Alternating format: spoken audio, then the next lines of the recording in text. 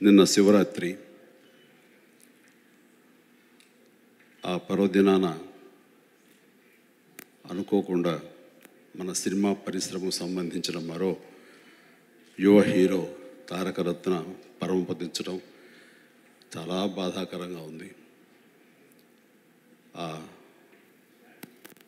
ఈ సందర్భంగా ఆ యువ హీరో ఆత్మశాంతి చేకూరాలని మనందరం రెండు నిమిషాల పాటు మౌనం పాటించి మన సంతపాన్ని తెలియచేద్దాం.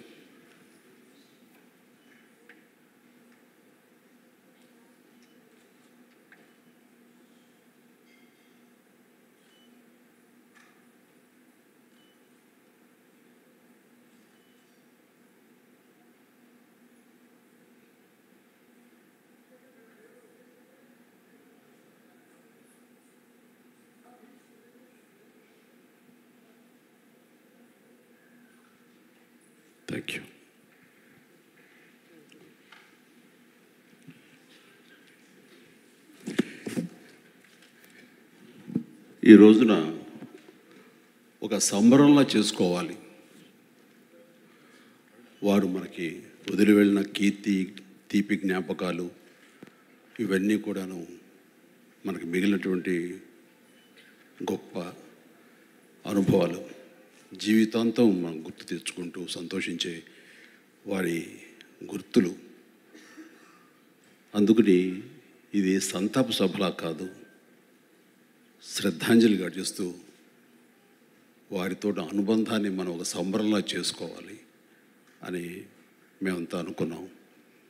దీనికి మొట్టమొదటగా నా దగ్గరికి వచ్చినటువంటి directors association president director Kashi Vishwanath గారు అలాగే మరో డైరెక్టర్ విఎన్ ఆదిత్య సంతోషం సురేష్ ఏడిది రాజా రాంబాబు అలాగే మరో అమ్మాయి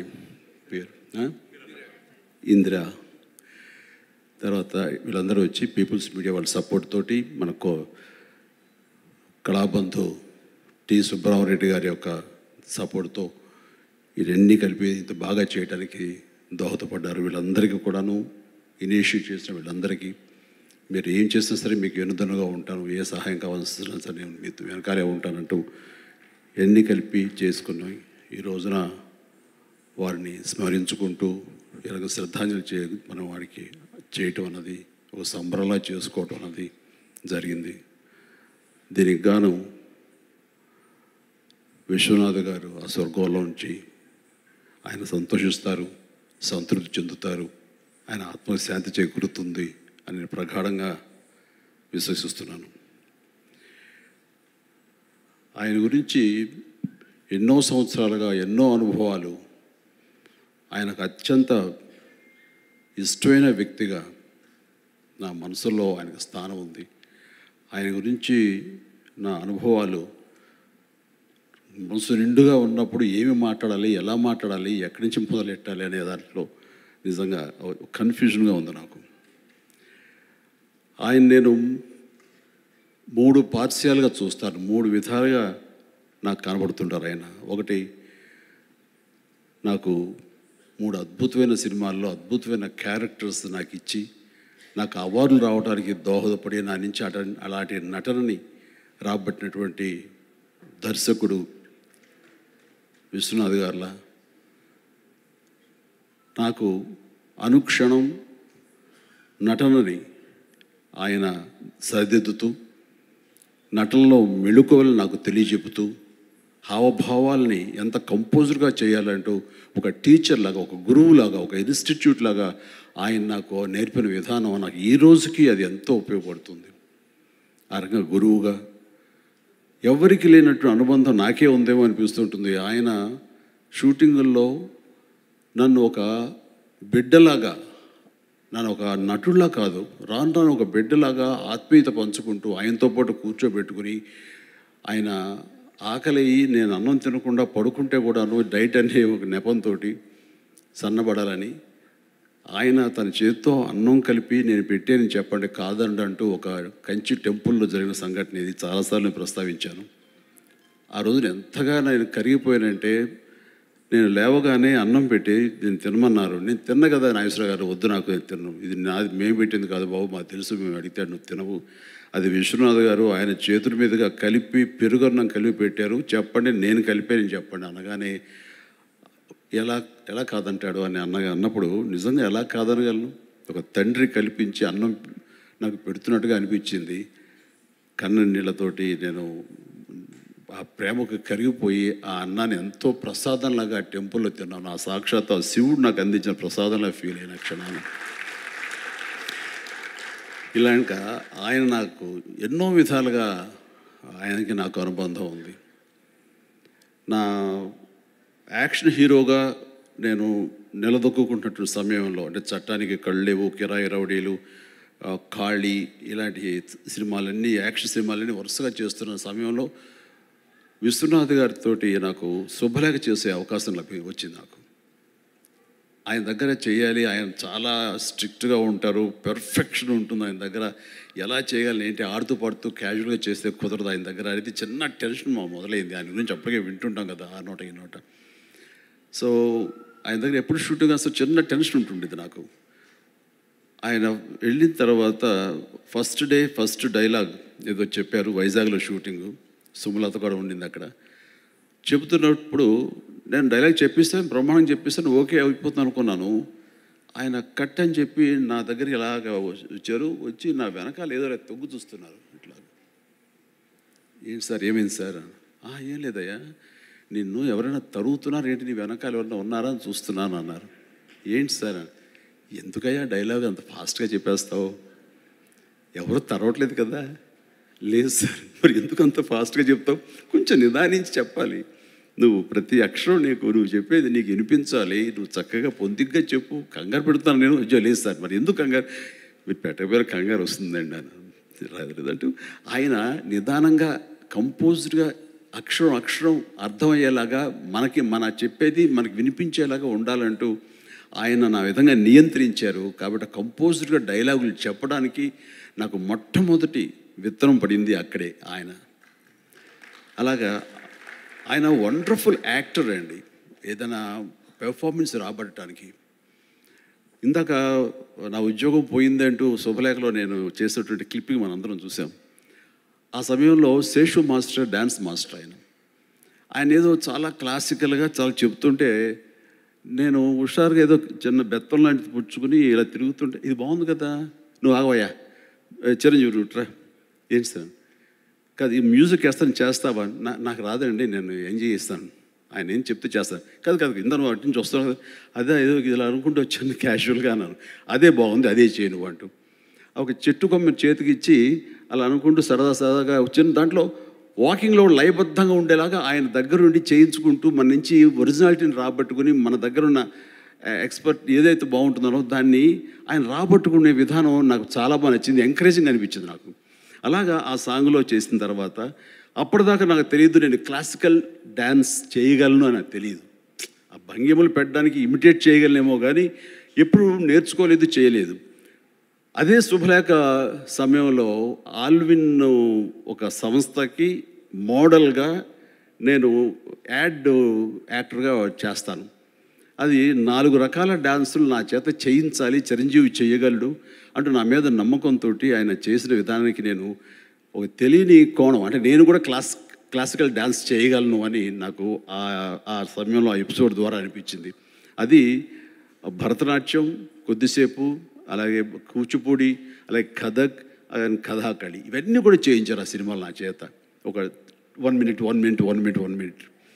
ఇవన్నీ చేసిన తర్వాత ఎంత బాగా చేస్తున్నావయ్యా? ఎంత లయబద్ధంగా చేస్తున్నావు? ఎంత అందంగా చేస్తున్నావు అని ఆయన చెప్పేసరికి అది అనలేని ఉత్సాహం. బహుశా ఇలాంటి చిన్న చిన్న ప్రశంసలు అలాంటి గొప్ప డైరెక్టర్ నుంచి వచ్చేసరికి మనలో తెలియనటువంటి శక్తి మనలో ఉన్న నిబిడీకృతమైనటువంటి టాలెంట్ని అది వెలికి తీస్తుంది దానికి స్థానపడుతుంది. అలాగా ఆయన ఒక గురువులాగా అనిపించారు. నాలో ఉన్న టాలెంట్ని మరింత వెలికి తీయటానికి ఆ చిత్రం తర్వాత.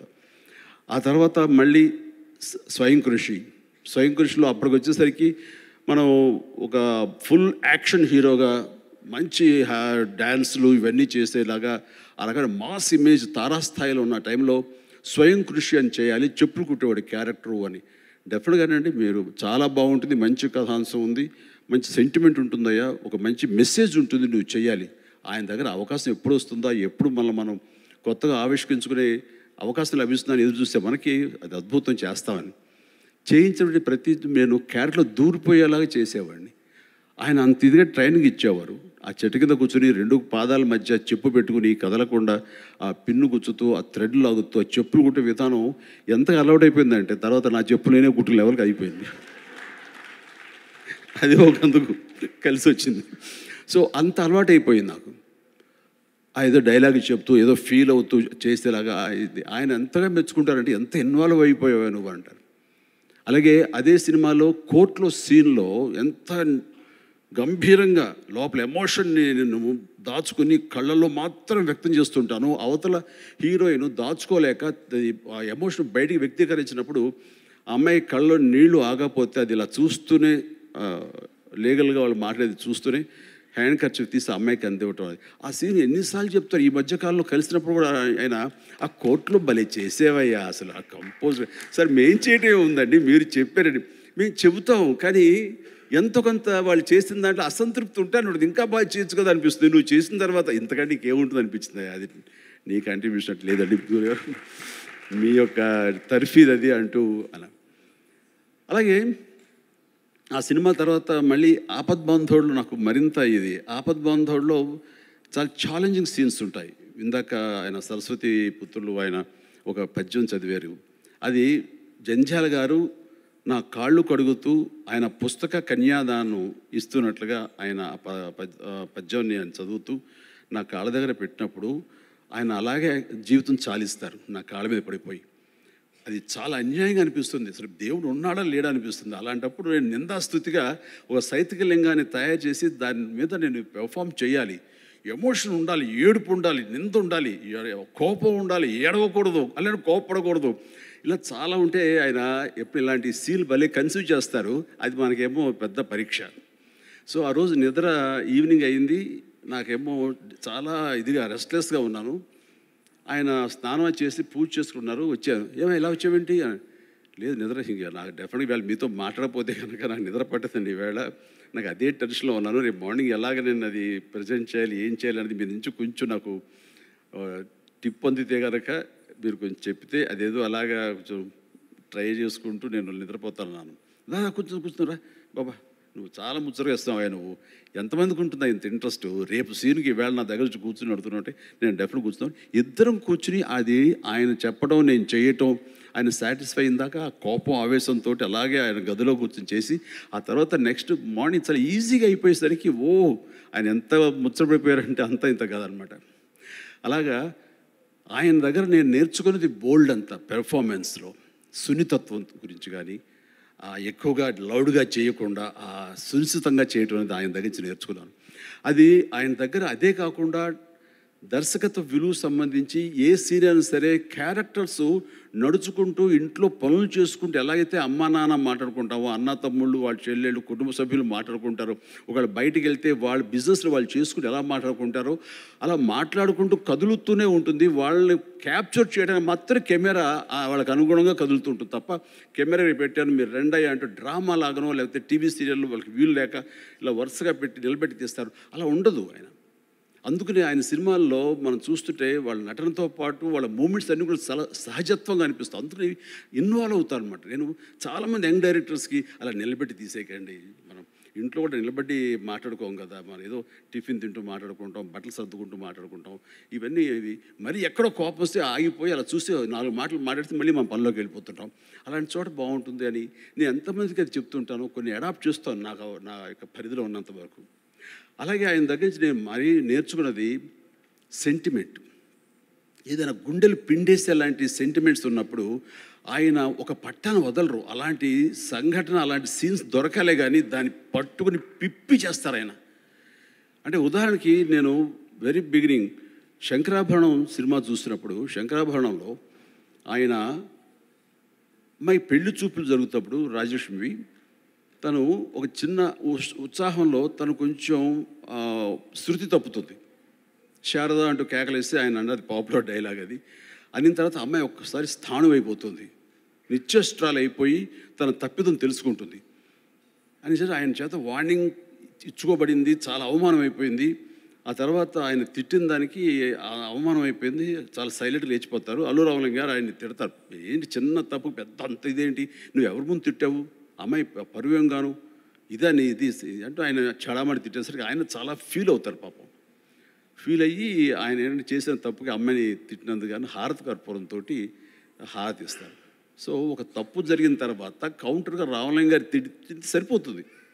సారీ రా అంటే అయిపోతుంది.